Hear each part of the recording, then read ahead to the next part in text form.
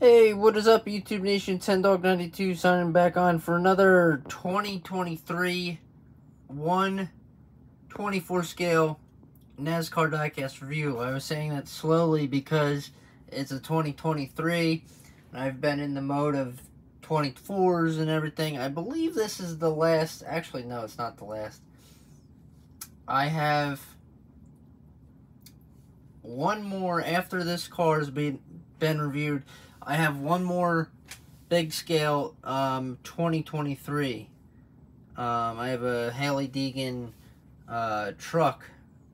I believe that comes in next month. So look for that next month. Um, but this is um, Denny Hamlin's number 11 FedEx number 11 for Joe Gibbs Racing. This is his race to win version.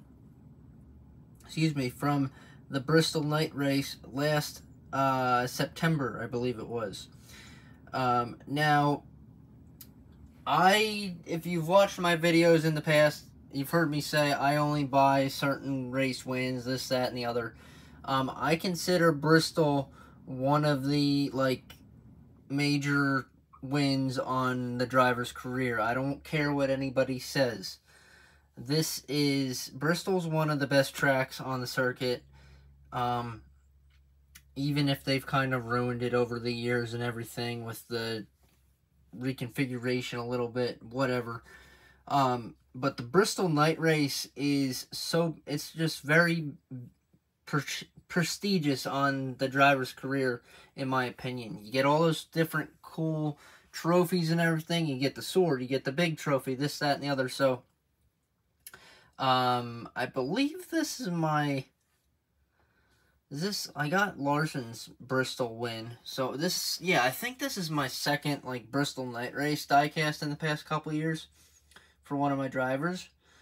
Um, but yeah, that's why I got this car. And I believe they didn't make that many. This is the Elite version. I only buy the Elite versions, um, for the, for the Cup cars. I don't really find a point in buying anything below the Elite version for the Cup car these days. Um, that's just my opinion. They only made 162 of these things, and I got DIN number 42. So they didn't make a lot of them. And Denny's had a really, like, like, a lot of times when he's won, the car doesn't even get made. So, this car getting made is pretty cool. And in my opinion, Denny is at like the end. Like, I think he has another year or two in him in the Cup Series, but he's towards the end of his career. So, even like this year, um, what are the wins he got? He got the Clash win. That was like a non-points race, but I still bought that car. That's on pre-order. He won the spring race at Bristol this year.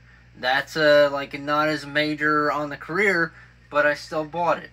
Um, he did he have another win? I don't know. I gotta look, but most of all the the big win or not the most of Ham uh, Denny's wins this year have already been pre-ordered. That's just the point of his career he's at with me, in my opinion. So, anyway, I've been talking too much. This is um actually quite a clean uh, race twin version for him. Um, they did a really nice job on this paint job, I have to say. I don't know what it is, like...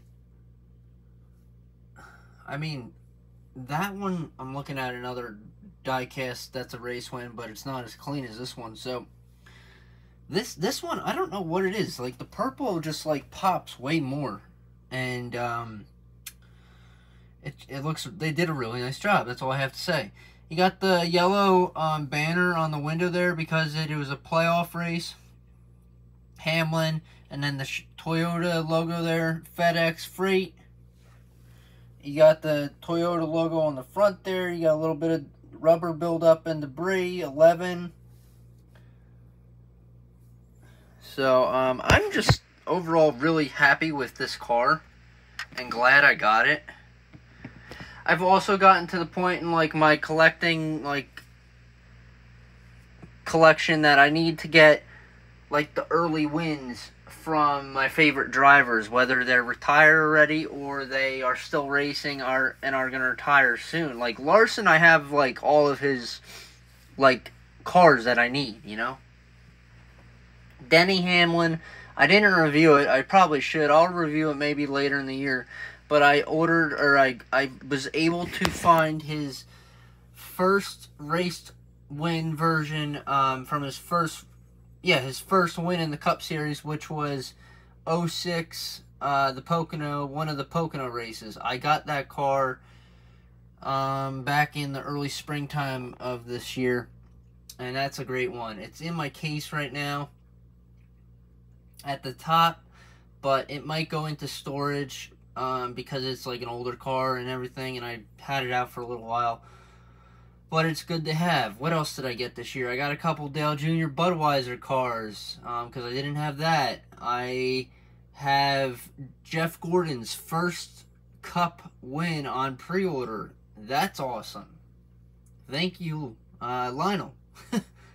so it, it's it's really crazy because I've I've watched NASCAR my whole life, and the fact that I'm now I will be 32 at the end of the year. And Now that I'm like able to afford to get the older cars um, from like the important stuff early on in my favorite driver's career really means a lot. So, but down the side here we got uh, 11, the round of 16 logo. You got the 75th anniversary logo for NASCAR because last year was the 75th anniversary. 11. I don't know if I said that already, but I apologize if I'm repeating myself.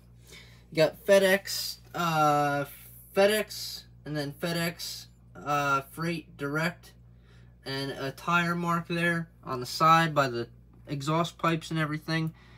You got sport clips down the side here, more debris buildup. And that's about it. FedEx, and then you got Denny Hamlin's signature above the window net, 11 up top there, FedEx Freight, and then you have three winner stickers on the top of the car there. This one's going to look really nice in the case, guys. I can't wait. Um, on the back here, you got Hamlin you got the like the NASCAR logo thing. And I'm trying to see if they you guys can see the DIN number. So there it is, 42. You got 0042. So they made 100 and what did they say? 162 or 116? Uh, where's the box? They made 162. So it's a it's a low number overall, but I got a low number out of all of the cards, so that's cool. Um, you got FedEx on the trunk. What do we got here? FedEx.com slash FedEx or slash excuse me slash Freight Direct Toyota 11. Pretty clean bumper. And then on the passenger side, since it is a race win version, it is worth talking about and going over. I'm just going over it here, and you can obviously see the debris and tire marks and buildup on the white and everything. It really does stand out nicely. You got some marks there below the 11. That tire is all rubbed off and marks and stuff from burnouts and whatnot and some marks there on the front. Um, so yeah, guys, that is the review of the 2023 124 scale number 11 FedEx Freight Direct Toyota Camry for Denny Hamlin and Joe Gibbs Racing. That's the review of it. I did see the mailman come just Er, before when I was filming uh, another video. Saw him put a box there in the mailbox. So I think I have, I'll have at least one video for you guys in the coming weeks here. Um, at this point, I actually filmed a bunch of videos recently and I haven't put them up because I've been busy. So I'll put all these up at once probably. So when you're watching, you're like, oh, well, what are you talking about? They're all up by now. So that's that. Um, but after the car that came today, which it is not a NASCAR, it's an Indy car actually. Another Indy car. It's my sec, uh, third or fourth Indy car on the year in the little scale. But after that one's reviewed and everything, I don't have. Um, well, I have an order coming in early July. And I will probably be reviewing one or two of those, maybe. I forget. And then I have at least one big 124 scale coming in July that I know of for a fact. So, July might be a little quiet. Thank you for watching, guys, and uh, see you in the next one. Enjoy. Don't forget to like, subscribe, comment, turn a little bell on for every time in the future I upload a video. You guys will get notified. Peace, guys. Have a good one.